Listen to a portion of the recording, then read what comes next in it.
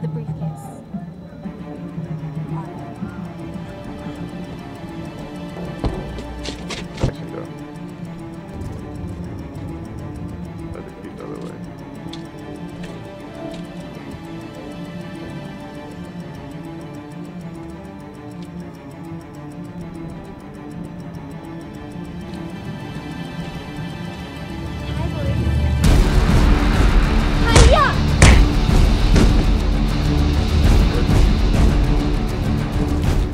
getting his fucking ass beat right now. This chick is fucking nuts. I need some backup up here now, motherfuckers.